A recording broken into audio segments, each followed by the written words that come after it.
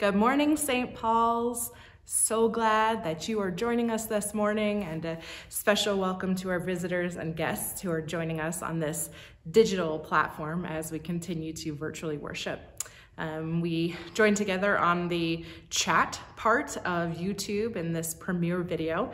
A nice way to just say hi and good morning and peace be with you. So I think the permission for that means that you have to log in so that we see a name pop up when you comment. So if you've got any issues, let us know. We also have a Facebook group for prayer requests and things, so please check there for all of our prayer requests and uh, different announcements. We're starting a, another book study this summer virtually, and you're invited to be a part of that. We're reading James Cone's The Cross and the Lynching Tree. Um, and of course, those of you who aren't uh, officially a member of this church, you can also pick up the book and, uh, and read some wise words about the intersection of Christianity and Black lives. There's lots of wonderful resources out there, so dig in, find something, listen to something, um, open up your hearts to receive a new word from those, uh, from those that desperately need to be heard right now. And of course, we hear from Jesus also. And we hear scripture in a new way when events in the world are changing and different and uh, divisive. And this gospel reading today is uh, an especially interesting one. And uh, I've got a guest preacher with me, not a guest preacher, a guest, yeah, kind of is a preacher now since you've heard him preach. Uh, my husband's joining me for some liturgy and some prayers, so I hope you'll enjoy hearing his voice again. I think he's pretty fabulous. We'll begin with the bells. Enjoy.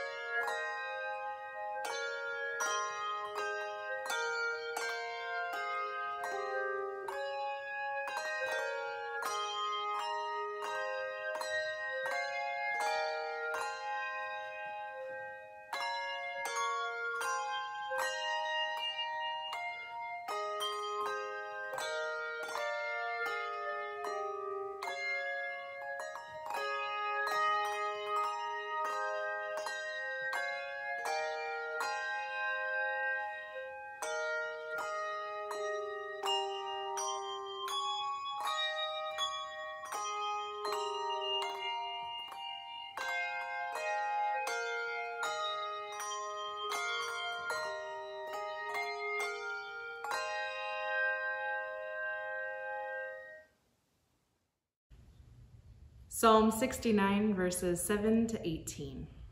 We'll read the psalm responsively. Surely for your sake I have suffered reproach, and shame has covered my face. I have become a stranger to my own kindred, an alien to my mother's children. Zeal for your house has eaten me up. The scorn of those who scorn you has fallen upon me.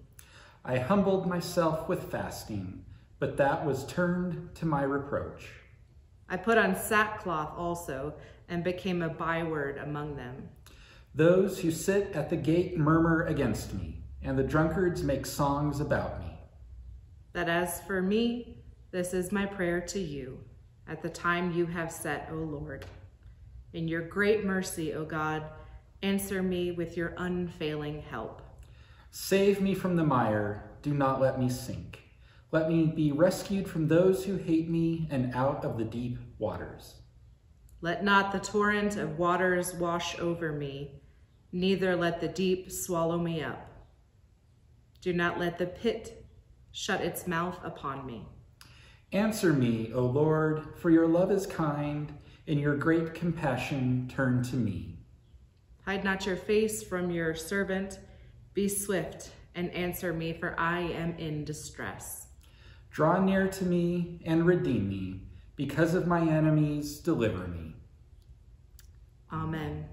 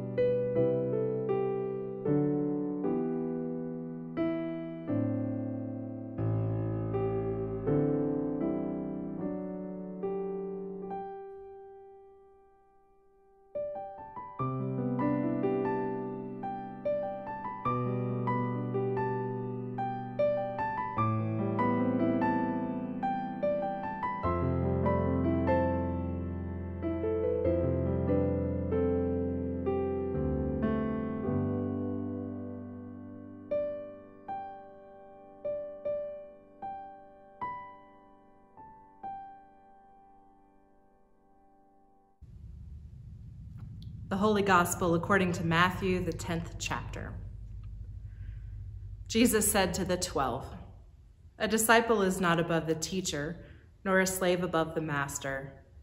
It is enough for the disciple to be like the teacher and the slave like the master.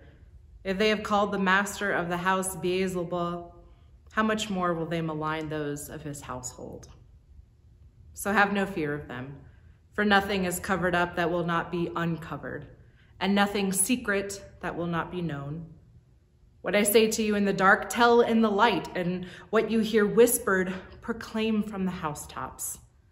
Do not fear those who kill the body, but cannot kill the soul. Rather, fear him who can destroy both soul and body in hell. Are not two sparrows sold for a penny? Yet not one of them will fall to the ground apart from your Father and even the hairs of your head are all counted. So do not be afraid. You are of more value than many sparrows. Everyone, therefore, who acknowledges me before others, I also will acknowledge before my Father in heaven. But whoever denies me before others, I will also deny before my Father in heaven. Do not think that I have come to bring peace to the earth. I have not come to bring peace, but a sword. For I have come to set man against his father, and a daughter against her mother, and a daughter in law against her mother in law, and one's foes will be members of one's own household. Whoever loves father or mother more than me is not worthy of me, and whoever loves son or daughter more than me is not worthy of me. And whoever does not take up a cross and follow me is not worthy of me. Those who find their life will lose it, and those who lose their life for my sake will find it. This is the gospel of the Lord. Praise to you, O Christ. Jesus commends us to take up the cross and follow him. Take up the cross and follow him. Those are hard words. It's a hard mission. It's a hard thing to follow. And what Jesus is telling us is we do it at all costs. That it is the thing that we put everything else aside for to follow Christ. And he's even saying there might be people in your house that you disagree with. And of course, think house a little bit more expansively. That's your family, your friends, the people that you associate with on a regular basis, your, your household. There's going to be people in your household who you do not agree with. And Jesus is wise. He knew that. He knew that we weren't going to be in 100% agreement on things. Thanks be to God that we have been given these minds to think and understand and comprehend and, and ways to gain more knowledge and understanding and empathy and and we're able to do all of that because that's how God created us. So that means, friends, that it's okay to um, have intense discussions that leave you kind of at a loss for words. It's okay to read things and take in things that cause you to go, oh, this is the time to engage those things as we are still trying to figure out um, what COVID 19 is and, and maintaining that social distance, as we continue to listen to our uh, Black brothers and sisters and their voices that have been suppressed for so long, as we continue to lift up those voices, the voices of scientists and epidemiologists, and, and the voices of, of those who are speaking on behalf of the Black community or, or even just individually it might cause some things in us to go, but, but, but. And what I hear Jesus saying in today's passage is, that's okay. I'm going to be with you in all of that confusion and all of that unknown and all of that engagement and, and argument and wrestling with things. We do that with scripture. We wrestle with scripture. We wrestle with God who might walk away and leave us with a broken hip, right? We hear that in Jacob's story. I think we've sort of, over time, made Jesus into a kumbaya, hearts and flowers hippie. And and while Jesus was all about loving one another, Jesus also was the one who turned over tables in the temple when he was so frustrated and angry at the way people were disrespecting God's holy place. The, the, the, same person who argued with his disciples and the same person who said, Get behind me, Satan, to one of his closest followers when they didn't understand what Jesus was about. So, friends, I don't want us to, as Christians, say, well, we just have to be like nice and sweet and kind. Because I think when, when we make that the primary function of who Jesus is, we've watered down our faith. And, and that's not what Jesus calls us to do. Not in our baptismal promises, not in the scripture today, not in the way that we are called to be present for one another. It's hard work, and Jesus knows that. And Jesus knows that our identity above all other identities is as a beloved child of God. You are a beloved child of God. Amongst all your other identities, that is the one that stands at the top. And from there, it gives us insight and understanding to see all the differences and, and the beautiful diversity in the rest of creation. Friends, think about if we only had one type of flower, right? Like if you just had fields and gardens and it was just one flower and one color. It would be pretty, but it'd be boring really, really fast. We were created with different skin. We were created with, with different abilities to be creative and to think and to understand. We were created with different gifts to to speak, to share, to teach, to pray. All these different ways that we are invited to be church together, God is using for the entire creation, for the entire world. Take up your cross and follow Christ. And in this time, let us engage in wonderful conversation. Let us say those things aloud that we're like, I maybe shouldn't admit this out loud, right? Let's acknowledge those things so we can start to pick them apart and, and make sense of things. That's why I love going to therapy. I can say out loud my fears, and, and my therapist goes, Well, have you ever thought about? And sometimes it's just a little shift in our understanding that completely opens up uh, all kinds of opportunities and, and all kinds of new ways to go forward. And I know, especially from someone who suffers from depression, that I need a way forward to get through this time of unknown and turmoil and angst and and yes, I'm also talking about raising a toddler. All of these ways, all of these things that are hard right now. But God is with us in the midst of hard things. God is with you here and now. God is with you. God is with all of us. Take up your cross and follow Christ. Christ leads the way for us. Christ walks beside us on this journey. And Christ supports us as we go forth to care for one another, to listen to one another's stories, to care for all of creation. Amen.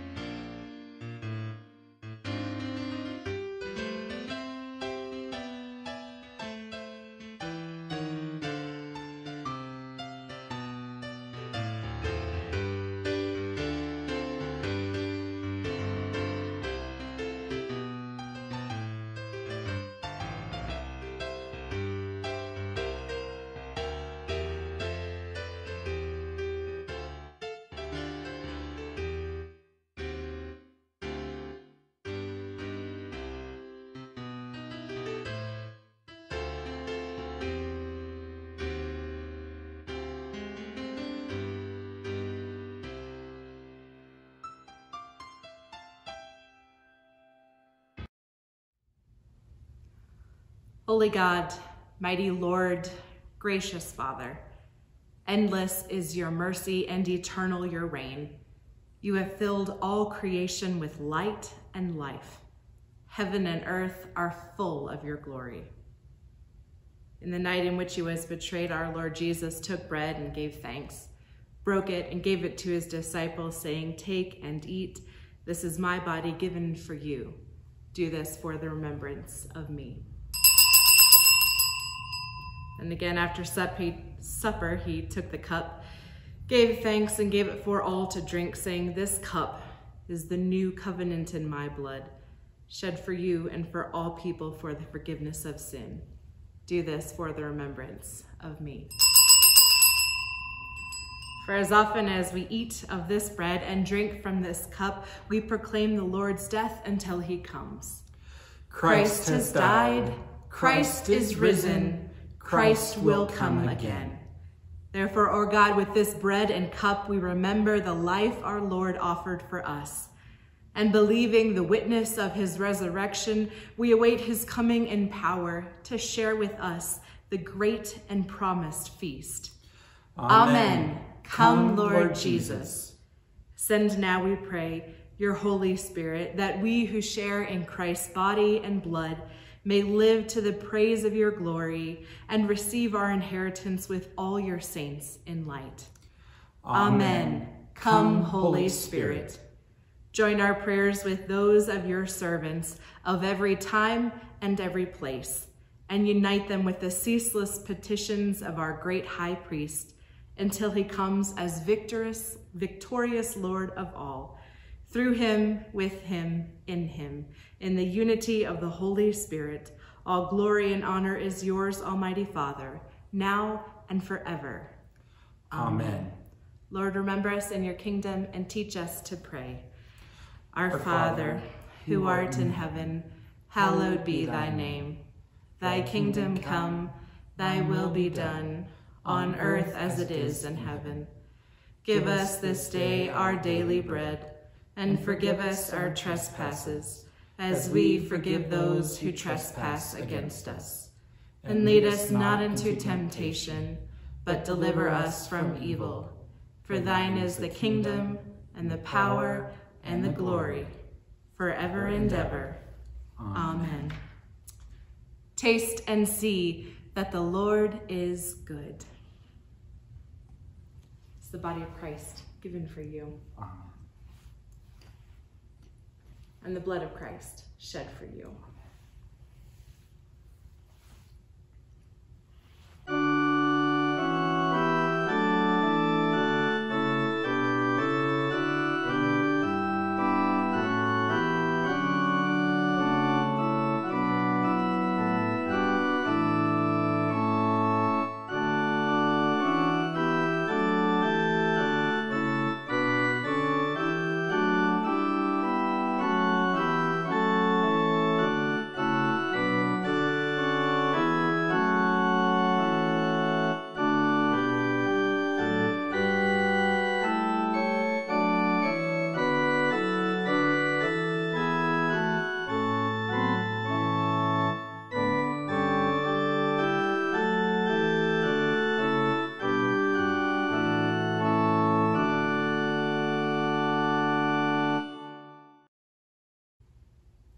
The body and blood of our Lord Jesus Christ strengthen and preserve you in eternal life.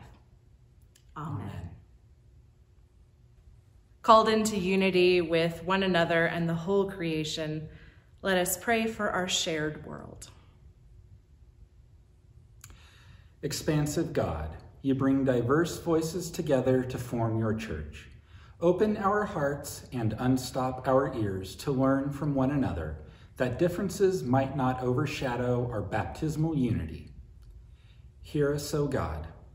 Your mercy is great. Providing God, your creation shows us that life comes from death. Renew the places where our land, air, and waterways have been ill for too long. Direct the work of all who care for birds in their habitats. Hear us, O God. Your, your mercy, mercy, is great. great protecting God. Sustain and keep safe all who work to defend others across the world. Revive and strengthen organizations dedicated to caring for refugees and migrants while their homelands struggle for peace. Hear us, O God. Your, Your mercy, mercy, is great. great. Loving God, you promise to be with all who are persecuted for your sake. Guide all who speak your word of justice and console any who are tormented or targeted for being who they are. Hear us, O God. Your, your mercy, mercy is great. great. Compassionate God, you are with us and we are never alone. Bless all fathers and father figures who strive to love and nurture as you do. Comfort all who long to be fathers and all for whom this day is difficult. Hear us, O God. Your mercy is great. Reigning God, you bless us with guides and caretakers in the faith. As we give thanks for those who have died, increase our care for one another until we walk with them in newness and life. Hear us, O God. Your, Your mercy, mercy is great. Receive these prayers, O God, and those too deep for words. Through Jesus Christ our Lord. Amen.